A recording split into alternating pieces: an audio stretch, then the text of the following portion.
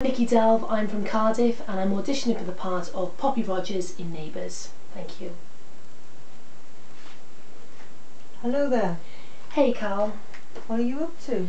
I'm organising a girls' day out with Susan. That sounds nice. Massage, lunch and shopping? Bungee jumping or skydiving? What? Well, I can't decide. Which do you think Susan would prefer? Neither. Oh, come on, Carl.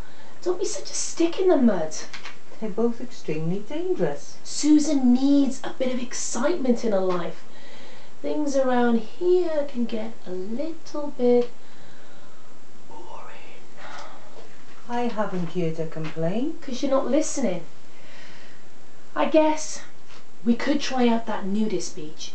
You do have some beautiful beaches around here, and it would probably be the safest option. No nudist beach. Oh, Carl, you are such a prude.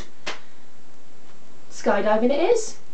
We weren't designed to jump out of a plane at 20,000 feet. It's 14,000 actually. Whatever. It's too dangerous and not to mention ridiculously expensive. You can't put a price on a life experience. I put a price on my life. I will never forget the first time I skydived. Strapped to my instructor, waiting at the door. To plummet to your death. My heart beating like crazy as he counted down. Three, two, one. Good night, Nellie. And then we jumped, soaring through the clouds. It was like sinking into a bubble bath, only not as warm. And then we broke through, and I caught my first glimpse of land. It was amazing. It came faster and faster, closer and closer.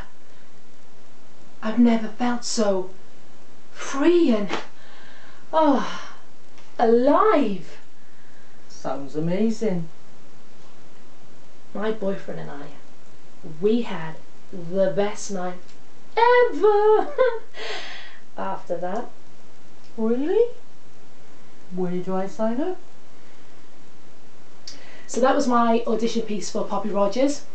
Hope you enjoyed it. Um, I think I should play the part of Poppy Rogers because I travelled through Australia, never made it to Melbourne. I would love a fantastic opportunity like this to be a part of a soap that I've grown up watching. So if you like what you see, then please vote for me. Thank you.